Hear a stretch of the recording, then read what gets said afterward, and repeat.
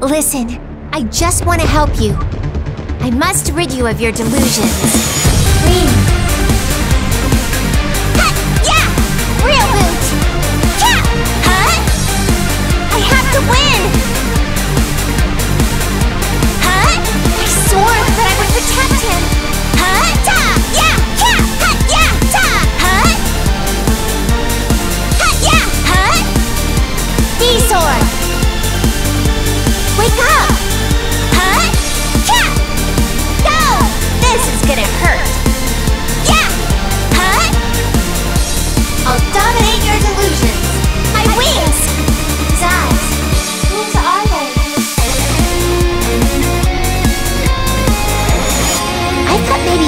a Gigalomaniac too, but I guess not.